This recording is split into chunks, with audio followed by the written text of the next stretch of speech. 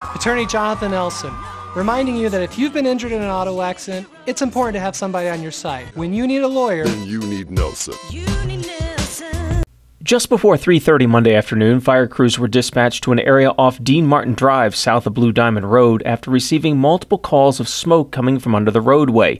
Firefighters discovered a fire inside a flood channel tunnel which ran under the road. A person who escaped the flames said additional victims could still be inside. Crews located and extinguished the fire, but the narrow tunnel made it difficult to search for victims. Firefighters made several sweeps through the tunnel during the next few hours. During those searches, they discovered one man and one woman deceased inside the tunnel, along with several cats. Authorities say the cause of the fire is undetermined at this time, though the investigation continues. The Clark County Coroner's Office will determine the cause of death for both victims.